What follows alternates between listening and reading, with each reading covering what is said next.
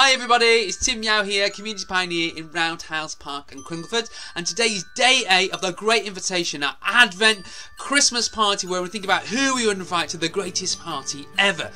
Well, every party needs a great soundtrack, and this person, our 8th invite, uh, is so associated with Christmas. It is Mariah Carey. All I want for Christmas is you. Her that track that comes out every Christmas time. That's a CD, by the way, for those younger viewers who don't know what it is. Ask your parents. Well, you know, her song is so ubiquitous, so connected with Christmas. My wife said to me, whatever you do, don't sing it to them. Well, I'm going to give you a blast because I think it's amazing. Here goes.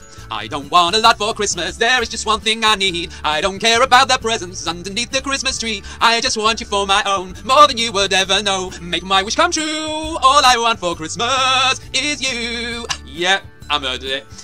You know, the thing is about Christmas, some of us are not just looking for presents and gifts and festivity, we are looking for romance with the mistletoe hanging up at the office party. You think maybe this is the time, this is the one, I'll find that perfect person. But for those as, as know, most of us know, there is no perfect people out there. They will let us down, we'll have arguments, you know, we're people.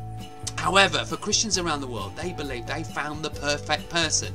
Someone who will never let them down. Jesus said, uh, I will never leave you or forsake you. I won't forget about you. I'm always there for you. I will love you with a perfect love. So, you know, this Christmas time, this season, whatever you're looking for at Christmas, if you're looking for love that will never fail, never let you down, Christians believe Jesus is the person to look to.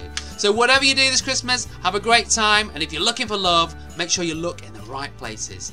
That's it for this time, and I'll see you next time. Bye!